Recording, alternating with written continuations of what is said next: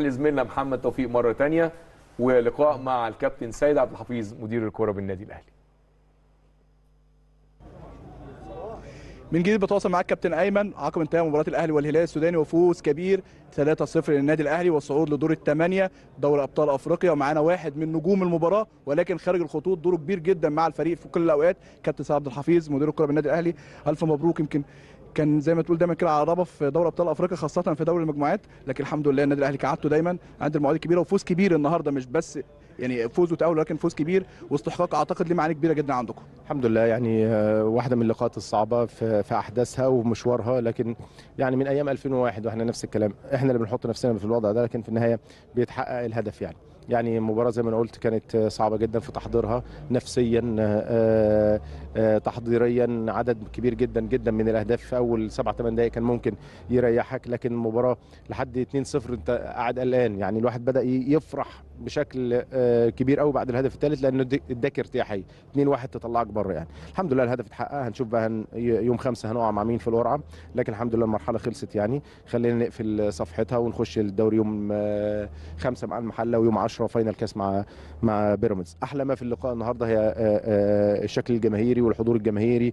وحشونا جدا. الاستاد بقاله كتير جدا كمباراة للأهلي طبعا كانت موجودة في المنتخب مباراة السنغال لكن الاهلي بالشكل العظيم ده بالانضباط ال- الرائع ده بالتشجيع ال- الفظيع ده يعني من من الساعة 4 الناس فطرت هنا يعني على ثقة في فريقها وعلى حب لناديها يعني. فبشكرهم جدا وإن شاء الله الرحمن اللي جاي يبقى أحسن بإذن الله. اللاعبين في ظل هذه الظروف الصعبة ويمكن الجماهير كانت عند الموعد وعملت اللي وكانت موجودة زي ما حضرتك قلت من بدري جدا.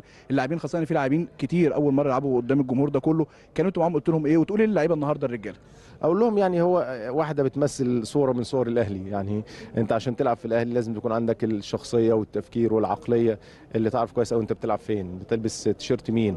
مين اللي وراك؟ مين الناس اللي موجودة؟ يعني على مدار يعني من يوم 18 من مباراتنا بعد مباراتنا مع القطن كانت 17 وبعدين مباراة سان داونز مع مع الهلال يوم 18 ما بمشيش في مكان ما بتخشش أي حتة أو بتاكل في أي مطعم أو ماشي في الطريق أو في أي حتة يعني غير الناس بتكلمك على مباراة الهلال.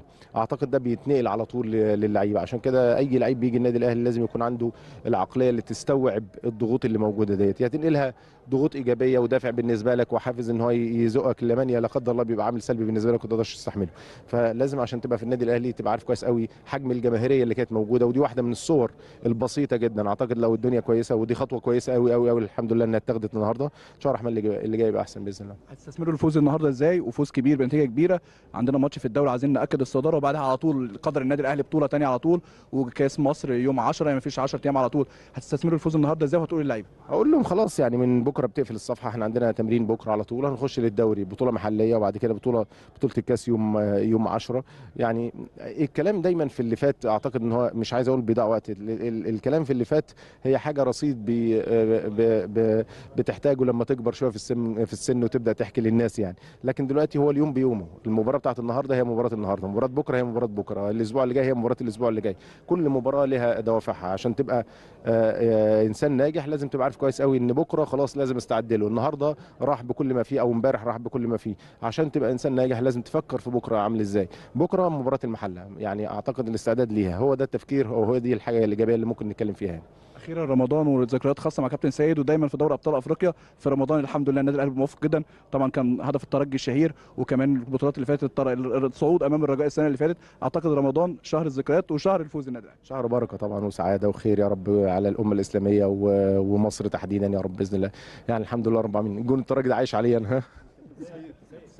كابتن ايمن ده كان لقاءنا مع كابتن سيد عبد الحفيظ مدير الكورة. فرحة كبيرة جدا هنا جماهير النادي الأهلي زي ما قلت لك قبل الماتش يا كابتن ايمن بتعزف سيمفونية كبيرة جدا. الحمد لله زي ما قلنا الحمد لله اتكللت بالنجاح وفوز النادي الأهلي بنتيجة 3-0 في مباراة كبيرة جدا أثبتت قدر النادي الأهلي وقيمة النادي الأهلي. ألف مبروك لحضرتك لضيوفك وكل جماهير النادي الأهلي في كل مكان. الكلمة للكابتن ايمن اتفضل.